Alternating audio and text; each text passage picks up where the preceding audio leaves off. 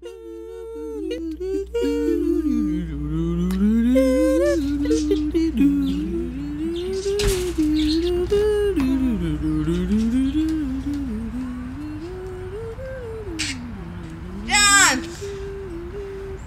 so glad you're here. We gotta go make a stop. It's a lovely day, isn't it? Yes.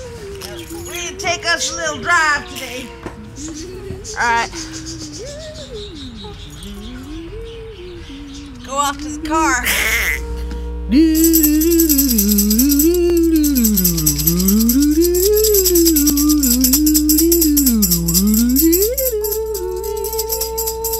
Yeah, that's better. I'm in now.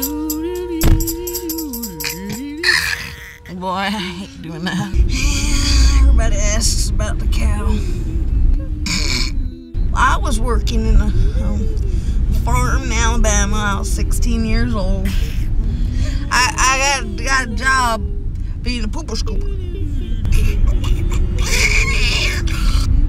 One day late at night, I've been working there already about three months. Uh, everybody, you know, Mr. Bigot and uh, Mr. Small, they uh, they closed up the shop, and uh, they, there was this one cow that I was very friendly with. Uh, but it was big, big, big cow, and I started milking it. Now, at first, I was kind of scared. Put my hands up to its udder, and I grabbed around, held just like I'd seen in the movies and I started pulling very gently and up. Started yanking up and down, up and down, just like this. And then the other others, the others, other others. she started mooing. I, out of nowhere, she just toppled over on top of me, and.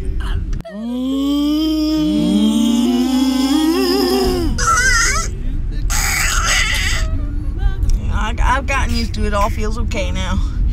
And um, unfortunate thing is that uh, that I didn't die, and I still have my left leg.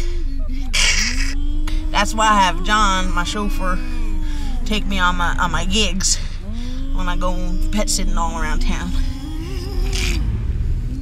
Make eighteen dollars today. I'll make twenty-two dollars. They'll be away four days, and. Uh, then I can get you your tip from last year's Christmas. That's good. I'm really glad the business is expanding.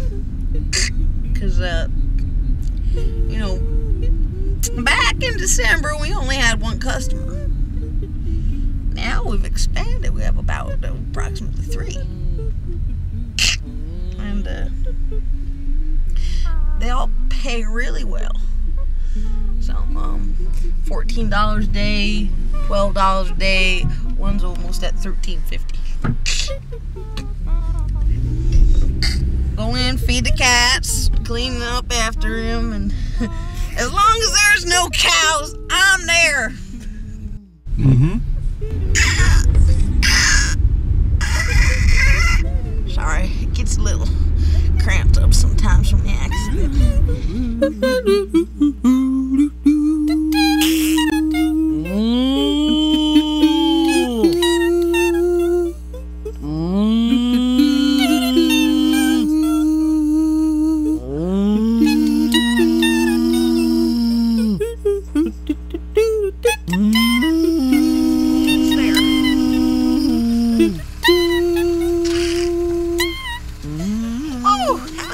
Ride.